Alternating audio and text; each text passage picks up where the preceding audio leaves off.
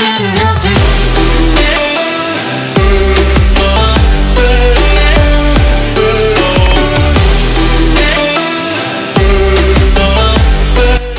Hello নমস্কাৰ নমস্কাৰ মই সঞ্জয় কাৰণে welcome back to my channel at J D vlogs আপোনালোক কেনে আছে সব সকলোৰে ভাল so' first of all good morning and welcome to the biggest tournament of Goalpara G P L মানে গোৱালপাৰা প্ৰিমিয়াৰ লীগ এবছৰৰ অপেক্ষাৰ অন্তত আজি ফাইনেলি গোৱালপাৰাত আকৌ জি পি এল হৈ আছে ত' খুব ভাল লাগি আছে আমাৰ গোৱালপাৰাত হোৱা চবতকৈ ডাঙৰ টুৰ্ণামেণ্ট আজি আপোনালোকক দেখুৱাম আমাৰ Goalpara premier league G P L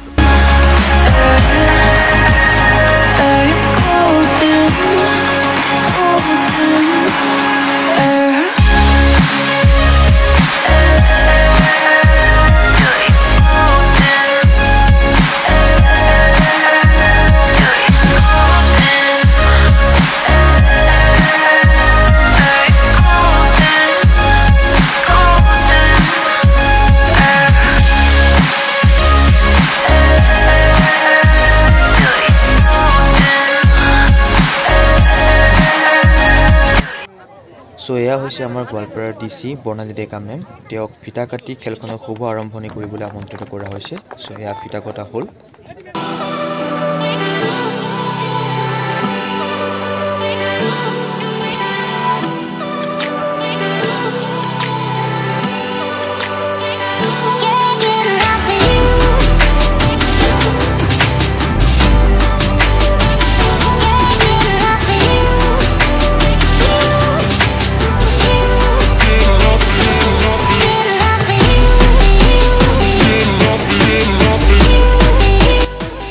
ইয়াত হৈ গ'ল আমাৰ সম্মাননা অনুষ্ঠান।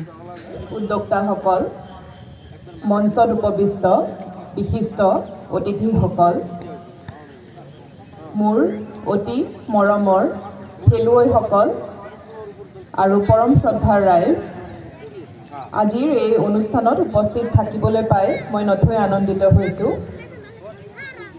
গোৱালপাৰা চহৰত যেতিয়া কোনো ধৰণৰ অনুষ্ঠান হয় এইটো আমাৰ আটাইৰে চহৰবাসীৰ বাবে আমাৰ নতুন প্ৰজন্মৰ বাবে ল'ৰা ছোৱালীৰ বাবে এটা পজিটিভ ডেভেলপমেণ্ট হয়। যিহেতু আমাৰ যিসকল ছাত্ৰ ছাত্ৰী আছে যিসকল নতুন প্ৰজন্ম আছে ইউথ আছে তেখেতসকলৰ বাবে এটা ইতিবাচক দিশত তেখেতসকলৰ যিখিনি চিন্তাধাৰা আছে যিখিনি এনাৰ্জি আছে এটা পজিটিভ ডাইৰেকশ্যনত যোৱাৰ সুযোগ পায়। বহুবাৰ মই দেখোঁ আহোঁতে যাওঁতে যে কোনোবা এটা কোণাত ল'ৰাবোৰ থিয় হৈ আড্ডা মাৰি আছে বা কেৰম খেলি আছে এনেধৰণৰ নন প্ৰডাক্টিভ এক্টিভিটিজত বহি আছে। আৰু যেতিয়া এনেধৰণৰ খেলা ধূলালৈ আমাৰ মনোযোগ যায় তেতিয়া এক নম্বৰ আমাৰ ফিজিকেল হেল্থটো আমাৰ শাৰী- শাৰীৰিক স্বাস্থ্য বৰ্ধন হয়। চ' এয়াই হৈছে G P L Goalpara premier league the biggest tournament of Goalpara তিনিদিনীয়া কাৰ্যসূচীৰ সৈতে আহি গ'ল G P L nineteen twenty twenty one February two thousand twenty one so' আহক আৰু এনজয় কৰক আমাৰ সৈতে G P L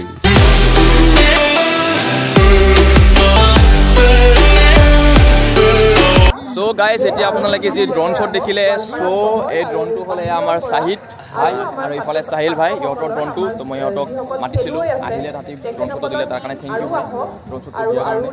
আৰু আহ, ইহঁতেই যিকোনো ইভেণ্ট বা বিয়া হওক যিকোনো ইভেণ্ট হওক তাহাঁতি আপোনালোকক যদি ড্ৰোনৰ দৰকাৰ আপোনালোকে ইহঁতে ড্ৰোন আছে ইহঁতক মাতিব পাৰে। মই ইহঁতৰ কণ্টেক্ট নাম্বাৰবোৰ ডেছক্ৰিপশ্যনত দি দিম আপোনালোকে চেক কৰি ল'ব। বহুত যদি ড্ৰোন শ্বটটো ভাল লাগিছে নিশ্চয় মোৰ কাৰণে বহুত ভাল লাগিছে আপোনালোকে ভাল পাইছে ড্ৰোন শ্বটটো চ' যদি লাগে আপোনালোকে মাতিব। ত' চাহিদ ভাই অলপ কিবা কৈ দিয়ে মই এইখিনিয়ে ক'ব খোজোঁ। প্ৰথমতে ইয়াৰ চেনেলটো চাই লাইক এণ্ড ছাবস্ক্ৰাইব কৰিব লাগে। সেইটো হ'ল মেইন উদ্দেশ্য আমাৰ। তাৰপিছত আমি মেইনলি আমি ৱেডিং ফটোগ্ৰাফাৰ হয়। ইয়াৰ লগ মোৰ লগত আছে চাহিল আমি ৱেডিং ফটোগ্ৰাফাৰ আৰু এইখিনিয়ে ক'লোঁ আৰু বেছি একো নকওঁ আৰু। বাকীখিনি আমাৰ পেজ আছে। পেজত কেতিয়াবা গ'লে গম পাই যাব। আচ্ছা মই ঠিক আছে মই পেজৰ মই যোনটো পেজৰ লিংক আছে পেজৰ লিংকটো মই ডেছক্ৰিপশ্যনত দি দিম। আৰু চ' সিহঁতি কৰে সিহঁতি ফটোগ্ৰাফিও কৰে। চ' যদি ৱেডিং ফটোগ্ৰাফিৰ কাৰণে দৰকাৰ সিহঁতে কণ্টেক্ট কৰিব পাৰিব। ড্ৰোন শ্বটো থাকিব গোটেইখিনি বস্তু পাই যাব আৰু তাতে। চ' ভাই থেংক ইউ বাই বাই চ' আমাৰ ফিতা কটা আৰু সম্বৰ্ধনা অনুষ্ঠানটো শেষ হৈ গ'ল। এতিয়া ফাৰ্ষ্ট ইনিগ্ৰেশ্যন মেটছ আছে ৱেছ এছ একাডেমি ছিনিয়ৰ ছেকেণ্ডাৰী আৰু আদৰ্শ বিদ্যালয়। চ' এই দুখনৰ ইনিগ্ৰেশ্যন মেটছ আছে এতিয়া। ত' সেয়া চলিবই।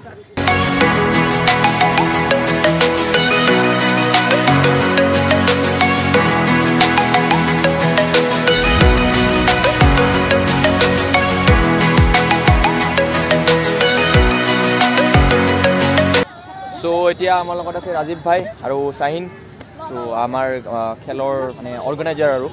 ত' কিবা অলপ কৈ দিয়ক খেলখনৰ বিষয়ে।